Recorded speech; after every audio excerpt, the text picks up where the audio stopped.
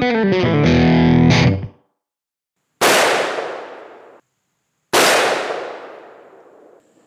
the glutton for punishment that I am, I was immediately drawn to the 454 Casull when I'd read about them and the sizable recoil and the, the big game that's fallen to this particular cartridge, so I absolutely had to have one.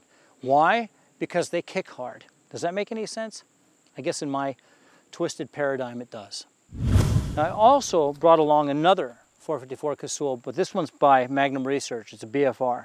These are a little bit bigger, a little beefier than all of the other single action offerings out there.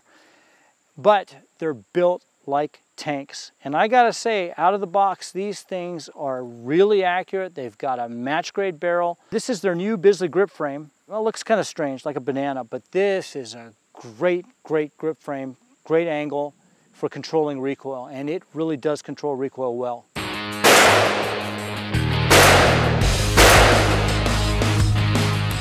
You see, I, have equipped this one with an Ultra Dot 4. It's a red dot type sight. These things are brutal. They can handle, they can handle more recoil than I care to throw at them.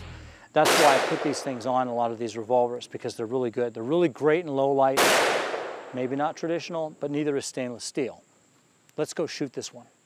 Okay, I'm using a, a load by Federal Premium for the 454 Casull. It loads a 300 grain Swift A-frame, jacketed hollow point, at a claimed 1530 feet per second. I think they're going faster. I haven't chronographed them out of this particular gun, but in other guns that I've tested them in, they've actually gone faster than the claim.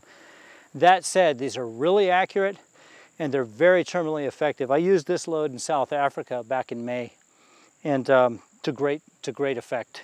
And uh, it's, it's one of my, my favorite choices for a factory load.